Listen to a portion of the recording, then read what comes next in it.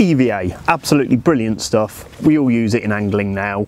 It's waterproof, it's great for storing your kit, keeping it dry, it's good for storing your bait as well. However, it can have a really high failure rate.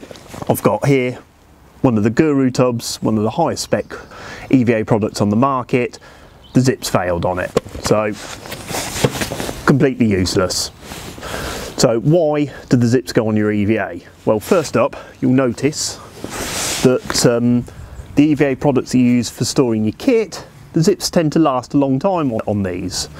Uh, this one is full of feeders, no problem at all, I've had that for years. However, the ones that um, you keep baiting, like I've got uh, another one of the uh, Guru tubs here, um, I use this for storing uh, ground bait on the bank. You know, it nicely fits a kilo of ground bait.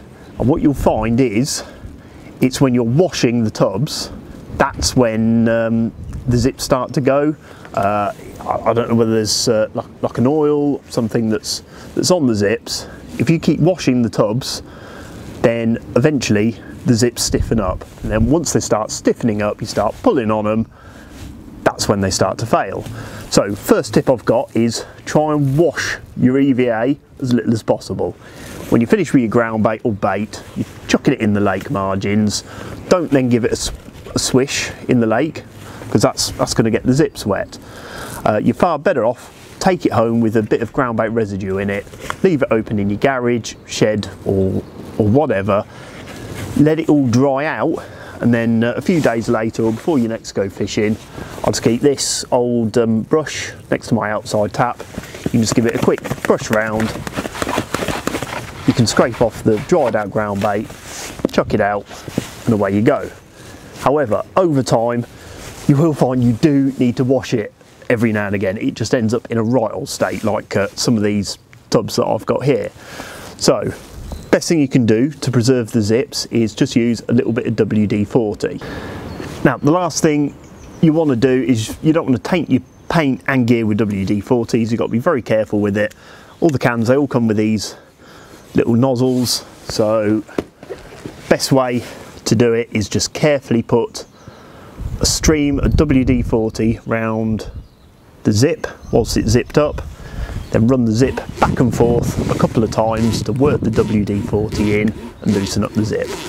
You'll find as long as you've got a nice free working zip, the zips don't fail and you'll find like that your EVA uh, luggage lasts a lot lot longer.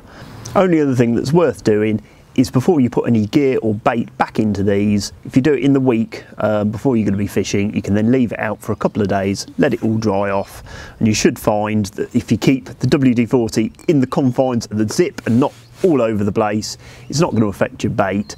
Your luggage is going to be good to use again at the weekend. Now this little tip, it doesn't just work with EVA luggage, it works with all your standard luggage as well. So whether it's your pole roller bags, your carryalls, your rod bags, as soon as the zips start stiffening up, give them a little bit of a squirt. Make sure you use obviously the tube so it doesn't go everywhere and uh, you'll find that all your fishing gear just lasts that little bit longer.